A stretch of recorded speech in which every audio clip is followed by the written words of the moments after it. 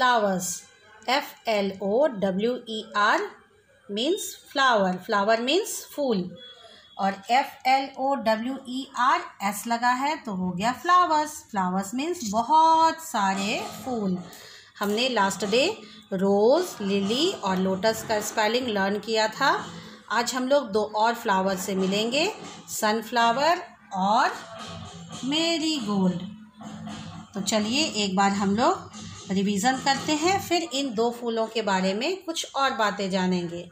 R O S E rose. Rose means गुलाब। गुलाब को फूलों का राजा भी कहा जाता है। और ये बहुत ही खुशबूदार फूल होता है। ये परफ्यूम बनाने के भी काम में आता है। Lily L I L Y lily. Lily means कुमुदनी। यह एक सफ़ेद रंग का फूल होता है। Lotus L O T U S lotus lotus means कमल. ये हमारा नेशनल फ्लावर है. आज हम लोग पढ़ेंगे sunflower S U N sun F L O W E R flower sunflower means सूरजमुखी. यह ऐसा पौधा है जो सूरज की ओर मुँह फेरे रहता है और जिधर जिधर सूरज घूमता है, ये भी साथ साथ उसी तरफ़ घूमता जाता है। M A R I mari G O L D gold marigold marigold means गेंदे का फूल। यह फूल बहुत ही उपयोगी है।